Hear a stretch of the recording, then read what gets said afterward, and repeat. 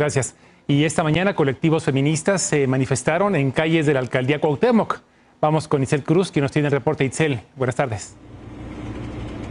Muy buenas tardes, Santos. Saldo Blanco reporta Arturo Medina, subsecretario de Gobierno de la Ciudad de México, tras esta marcha feminista que se llevó a cabo este viernes aquí en la Ciudad de México. Estamos viendo completamente en vivo en imágenes de Carlos Serrano a más de 20 trabajadores de obras y servicios quienes están limpiando las pintas que realizaron las jóvenes en el piso de la plancha del Zócalo capitalino. Según la información que nos brindan las autoridades capitalinas, hubo atenciones médicas por caídas o raspones que se atendieron en este sitio y no ameritaron traslado. Si me permite, Santos, vamos a escuchar qué fue lo que nos dijeron.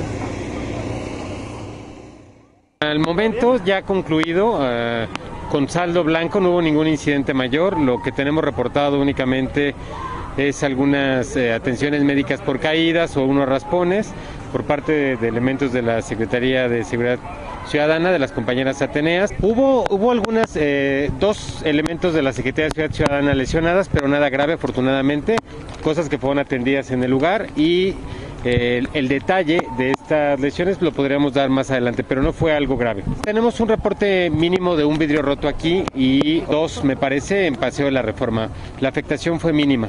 No hubo ninguna persona detenida. En el aforo nosotros tenemos en el, en el momento más nutrido eh, alrededor de 100 personas. Ahí escuchamos, Santos, las palabras de Arturo Medina, el subsecretario de Gobierno de la Ciudad de México, quien también señaló ante la Cámara del equipo motorizado de Foro TV que en todo momento se garantizó la libertad de expresión de aproximadamente 100 jóvenes que participaron en esta manifestación contra la no despenalización del aborto en Veracruz.